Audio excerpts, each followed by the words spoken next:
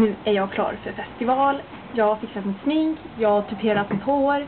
Det enda som är kvar är mina gröna kläder. Så jag ska sätta på mig dem och så ses vi på festivalen. Hej då!